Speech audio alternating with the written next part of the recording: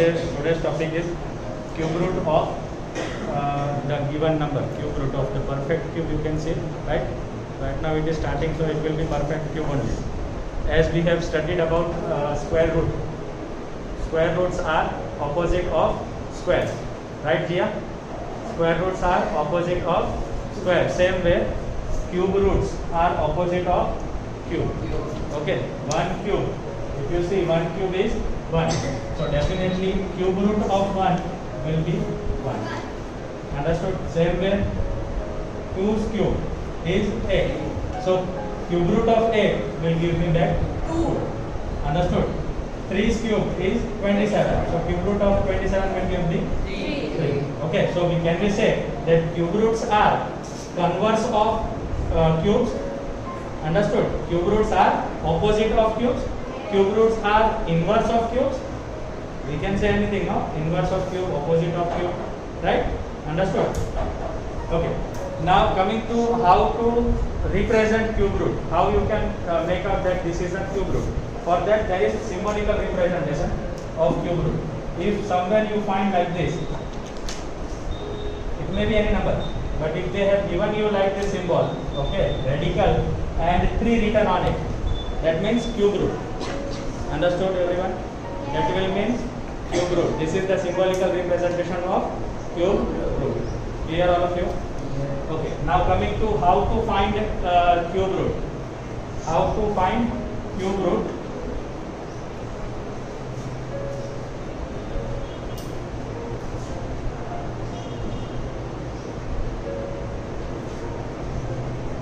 how to find cube root for that uh, I, I want you to go back for square root how we have found out square root of any number. What we have done during that time? But what we have done? Prime factorization? Right? And in prime factorization what we have done? We have taken pair of 2's now we will take pair of 3's understood? For example you want to take out the, the square root of 27 so what you will do? You will take out the prime factorization of 27 3 nines are 27 3 threes are 9 3 ones are 3 so can i write that cube root of 27 is equal to cube root of 3 into 3 into 3 yes. right and if it is in pair 1 will come out so your answer will be cube root of 27 is equal to 3 understood everyone Yes. now the topic is estimating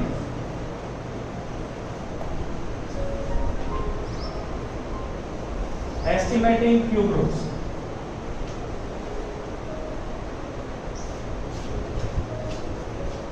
estimating the cube roots you are not supposed to calculate the cube root by uh, prime factorization method you are supposed to estimate the cube root but for this there must be perfect cube.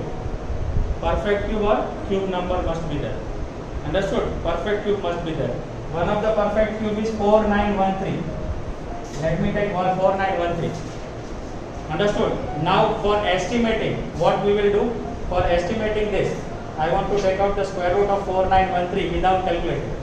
So what i will do? I will start from the right hand side okay i will start from the right hand side first three group and rest all if it is 1 if it is 2 if it is 3 if it is 4 numbers rest all will uh, stay one side understood now take this group what is the unit place here three right and you know uh, how uh, what is the number in the cube root of any number if we take out for example this one 3 what is the cube of that number? 7 7 so therefore what will be uh, if this is the 7 in the units place what will be its cube uh, uh, cube roots digits?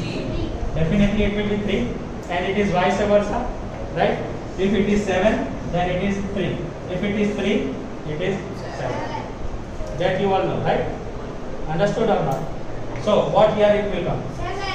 Definitely 7 now coming to this group now whatever the number okay here it is one number it may be three number or four number take all the fours If there is four numbers, you are supposed to take all the four. Now see what, what is the number?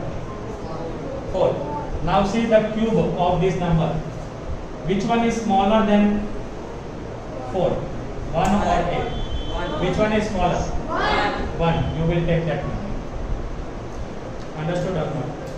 So cube root of 4913 is 7. This is how you carry out your estimation method by cube root. Clear? Clear? Let me take one another example. 857 375. 857 375. What is the first step of estimating? You will start with the right hand side. Make it group of threes. First group three, then the rest. Okay, then the rest one. And you have to place two blanks. You will concentrate on the units digit of the perfect cube, but this this must be a perfect cube. Okay, you can't estimate of the uh, imperfect cube. Okay, understood? This is five. So what will be the units placed in the cube root? Definitely five. I will five. Now concentrate on this block. 857. Tell me 857 between which number will come? 729 729 and 1000. Right? And what is the 729's cube root? 9. So we will take the lesser number, not the greater number. Understood? So your answer will be 9. Understood or not? Clear or not? Okay? So this is what we are going to study in exercise 7.2. Clear? Question number 1 now.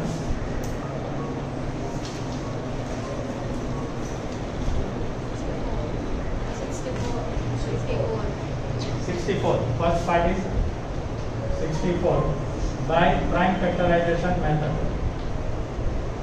By prime factorization, sixty-four. Uh, it is going with four, four one. Uh, sorry, no. I, I want to take out prime factorization. Two threes are and two twos are. Two sixteens are. Two eights are. Two fours are. Two twos are. Two ones are. Therefore, 64 can be written as 2 into 2 into 2 into 2 into 2 into 2. Clear? Therefore, cube root of, please don't forget to put this one. This is the symbol for cube root. Okay. If you are putting like this, it will become square. Okay. Square root.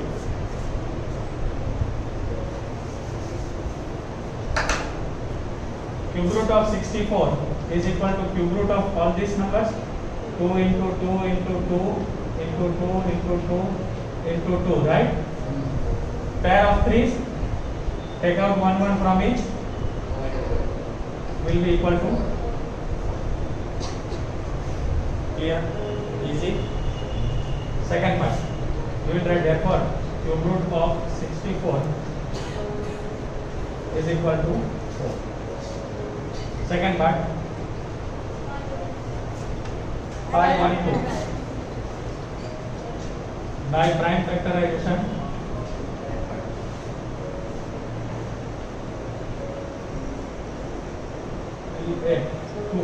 2 2s are 4, 2 5s are 10, 2 6s are 12, 2 1s are 2, 2 2s are 4, 2 8s are 16, 2 6s are 12, 2 4s are 8, 2 3s are 2 2s are 2 16s are 2 8s are 2 4s are 2 2s are and 2 1s are.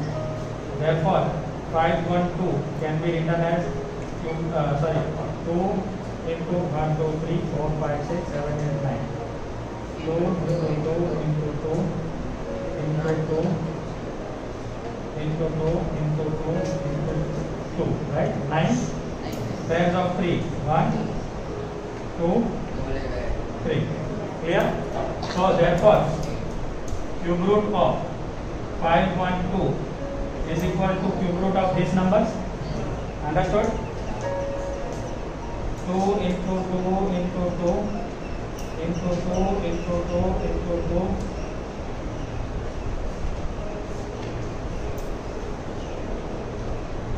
understood now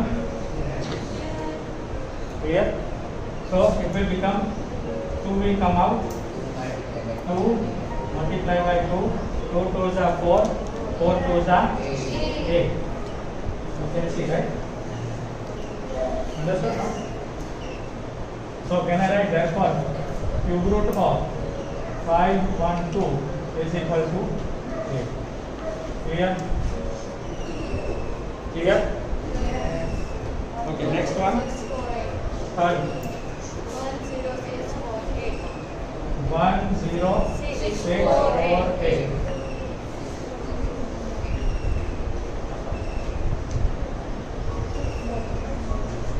Two five सा two three सा two two सा two four सा two two सा two six सा two six सा two two सा two one सा two three सा टू थ्री सा टू वन सा सॉरी टू वन सा now this number you should keep in mind eleven stable eleven skew group okay with 11 only it will go how i know? I know the table, that's why. 11 is cube, i know, that's why. Okay? 11 ones are 11 13 minus 11 2 13 minus 11 2 it will become 23 11 twos are 22 1 will carry up so 11 11 ones are 11 and 11 11s are 121 11 ones are clear therefore uh, sorry by prime factorization 10648 is equal to 2 into 2 into 2 into 11 into 11 into 11 therefore cube root of 10648 is equal to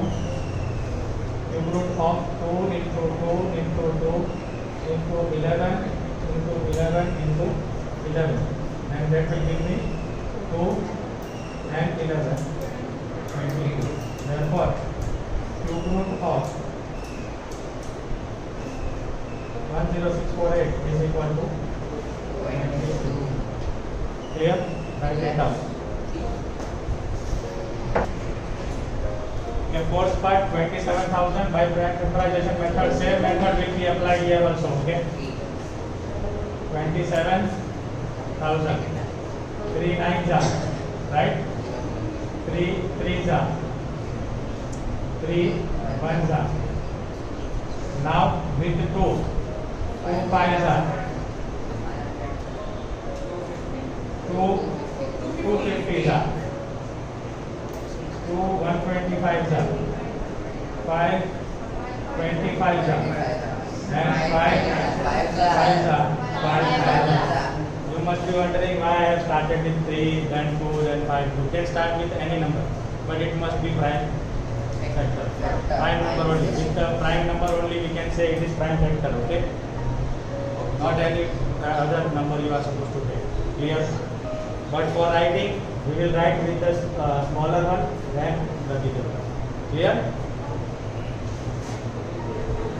uh, 27000 can be written as 3 into 3 into 3 into 2 into 2 into 2 into 5 into 5 into 5 actually I have written 2 I must write, write 2 before Okay, okay? it is okay therefore cube root of 27000 is equal to cube root of these factors 2 into 2 into 2 3 into 3 into 3 5 into 5 into 5 is equal to what be here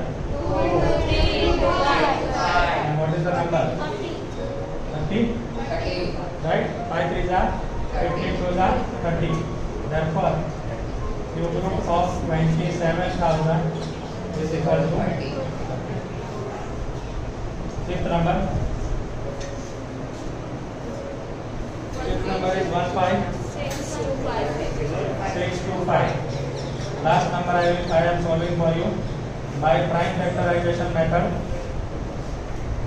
1 5 6 2 5 which number should I divide with 5 5 3s are pay, pay attention here 5 1s are 5 5 2s are 10 5 5s are 25 5 6 are 30 5 2s are 10 5 5s are 25 5 1s are 5 5 2s are 10 5 5s are 25 5 5 into 25 will be 125 5 5s are and 5 1s therefore 15625 can be written as 5 raised to power? You can also write 5 raised to power 6 this type this way also you can write.